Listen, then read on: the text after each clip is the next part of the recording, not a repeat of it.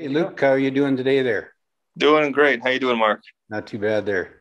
Where are you at? I'm in Rio de Janeiro. I'm in a suburb of Rio called Nilópolis. It's on the edge of the city right before it cuts off against the mountains. It's got a population about 200,000 people. Wow. Yeah, so we got great chatting it here. We're going to get to the uh, uh, the membership uh, part of it in a bit, but just wanted to let us know about how you came to be where you are right now. You're down in Brazil, maybe a bit of, a, of that journey since you started uh, attending at Mountain View and how things have uh, progressed in that journey so far. Yeah, I'm happy to speak to that.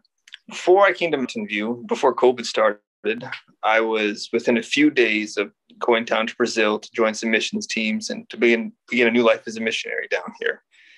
COVID started, my flights were canceled, and then led to a series of events which would eventually bring me to Mountain View Church in Whitehorse, where I'm going to get to know everybody. And while there, I spent time there getting involved with everybody, but always waiting for an opportunity to get down here to Brazil. In January, I saw a small window open up with Brazilian air travel opening, and then between Canadian air travel closing, I took a small window opportunity and jumped and came down here. And I really came down here with no plan. I just saw a, a window to come down and jump through it. Immediately upon arrival, my tickets were canceled and Canada shut down to come back. And since uh, arrived here, I've been studying Portuguese, trying to experience the culture, learn the culture. It's quite a challenge. And to get involved as much as I can, usually with language barrier um, hindering me to get involved as much as I can with any church I get involved with. I started off in Sao Paulo, the capital of Brazil. Sorry, not the capital; it's the biggest city, not the capital, and it's huge. It's um, the whole metro is about 36 million people, like wow. or, or 35 million. It's 50 kilometers wide, but it's got more people than Canada. It's it's massive. I started off there, and got uh, I preached part of our Habakkuk series in a right. Baptist church there that I was fellowshipping with. I then left Sao Paulo to come to Rio, and that was uh, I started off along the coast in a tourist area. I was new to the area and you know needed to put safety above everything, and got to know the area. And I'm pretty comfortable now. So now I've moved inland to the edge of the city where this is more like real Brazil. this place called Nilópolis. It's not. It's dangerous. My neighborhood's not.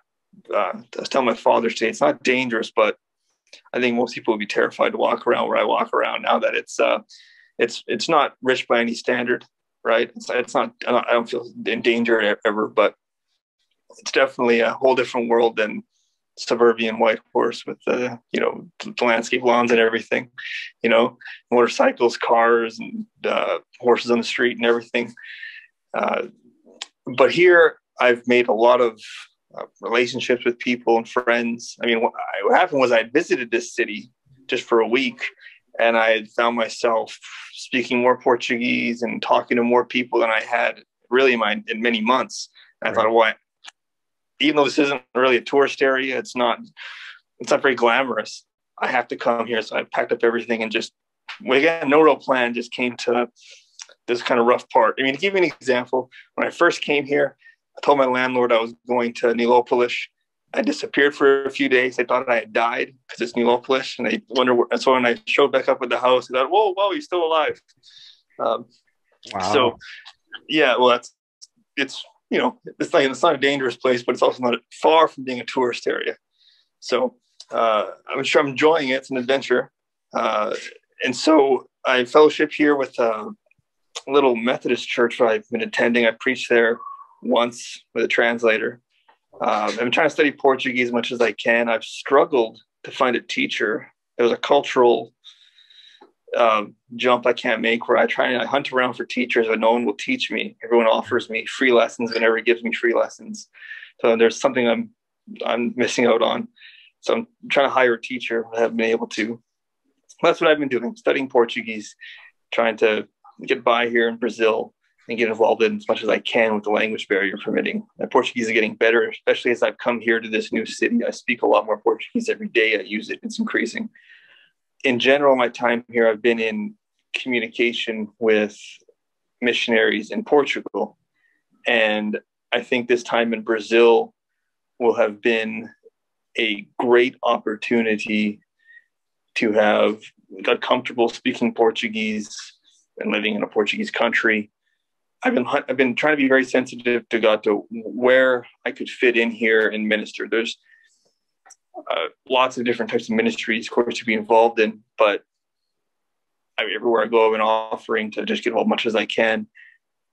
There's a, a missions team, uh, a few missions teams going to a certain island of uh, Portugal called Madeira okay. in the Atlantic Ocean.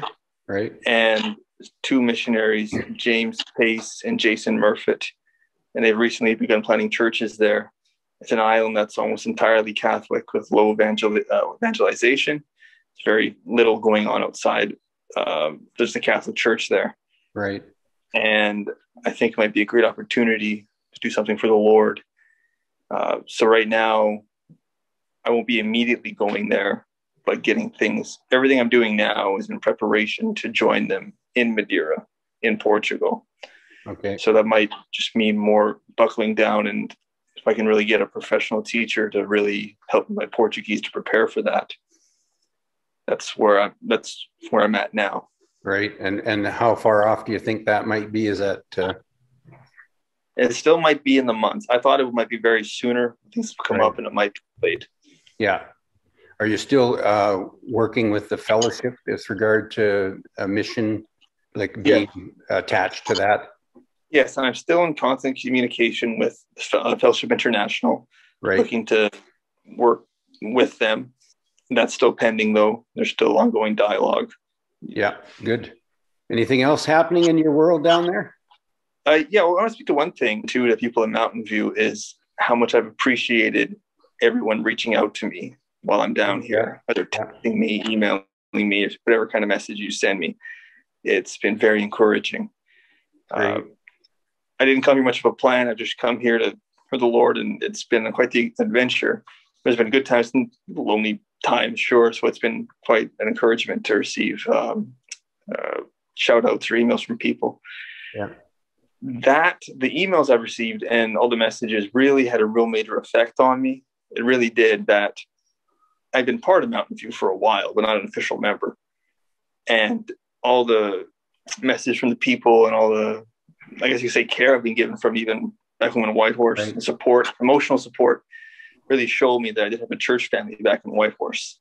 Oh, that's good. and yeah, and it got me thinking that, you know, we think about what have I accomplished here in Brazil. I haven't really accomplished much in terms of me leaving a dent on Brazil spiritually, but in many ways, this my experience here has changed me and how I've adventured around trying to serve the Lord, learning to trust God, or I've seen things that have grown my faith. But also just it's built our relationship between you know me and Mountain View Church. Right. And sometimes you think of God's providence, how he works. In many ways, God has used this missions trip to increase Mountain View. Right. That has brought us closer together.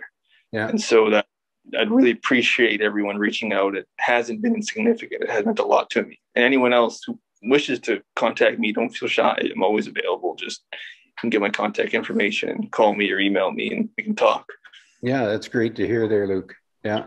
Probably it's uh in someday you might look back and it was just a time of of preparation and readying for uh, for what's ahead of you. So great to hear you're uh, working hard on uh, the cultural, the language, and trying to find a, a good teacher to fit make that fit better and uh, and we'll just keep praying that the lord will guide you as you uh, move forward in that journey um, so that's great to hear about the attachment you have with us uh, i mean we got to know you a fair bit while you were here and those of us who stayed in touch have continued to you know find out what's going on in your world and we've been able to have a bit of a chat today one of the purposes of course of the call is uh, you've applied for membership and the elders have recommended you. I'm just going to go through the covenant. I'll read it. It's a reminder for, for all of us as, as members here of what we've uh, covenanted and agreed to do as uh, the Lord enables us. It states in our covenant that I will, through the Holy Spirit, walk together with my brothers and sisters in Christian love and fellowship.